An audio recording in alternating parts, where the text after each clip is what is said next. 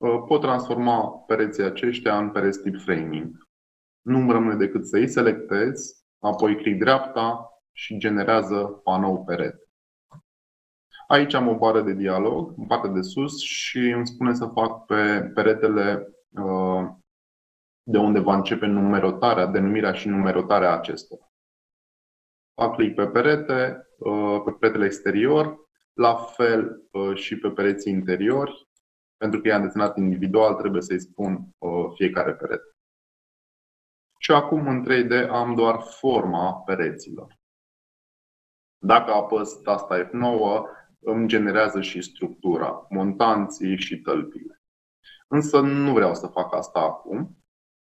Puteți anula o comandă sau uh, uh, șterge structura. Comanda se anulează cu Ctrl Z sau Undo. Sau puteți selecta pereții, click dreapta și șterge structura. Atenție, nu șterge complet, pentru că dacă dați șterge, vă șterge și peretele doar structura acestuia să șterg. Ok. Uh, pot amplasa goluri de uși de ferestre. Pentru asta va trebui să-mi activez layerul DVG pentru a avea poziția exactă a ferestrelor. Apoi merg pe uh, fereastră.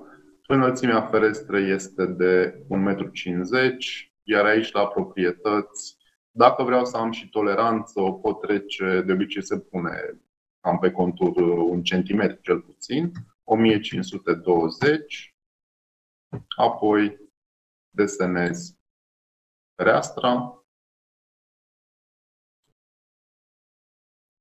Cum pot face linie constructivă să am și lățimea de uh, 1020, astfel încât să am toleranță. Uh, am aici linii constructive, paralelă, în cazul ăsta, mă ajută.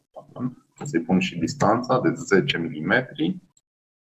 Și acum merg din nou pe fereastră, înălțime 1520 din punctul ăsta până în punctul ăsta și apoi îmi spune să specific nivelul la partea de sus. Deci am uh, H parapetul la 60, înălțimea de 1,50 m, ar trebui să fie la un 2 m și 10, plus pe relanța 2 și 11. Însă, va trebui să văd și cât am finisaje la, uh, peste placa de beton, peste fundație. O să consider că am 5 cm și atunci o să pun înălțimea 2160. Uh, și merg mai departe cu celelalte ferestre. O să mai fac la asta doar linii constructive, la restul o să merg fix pe fix, să nu pierdem foarte mult timp repetând aceeași comandă de foarte multe ori. Okay. La fel pentru golurile de ușă, la proprietății trec înălțimea, 2160 în cazul ăsta.